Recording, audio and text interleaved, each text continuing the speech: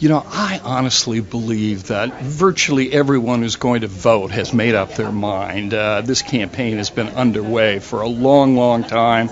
Uh, there are strong partisan feelings. There are strong feelings about the condition of the country and how it's going. Uh, individuals have had a chance to size up uh, the presidential candidates in their and their running mates. There there may be a handful of uh, of people who might be swayed at the end, but this is increasingly now about uh, mobilization, about and reinforcement of, uh, of of getting people to the polls, of maintaining their interest and and their existing position. That's the case for the Obama campaign and in the case of John McCain, since he is clearly behind nationally and in virtually all of the battleground states, he is still looking for a game changer, for something that would would lead people to reconsider their vote. That's a very hard task uh, to accomplish, absent some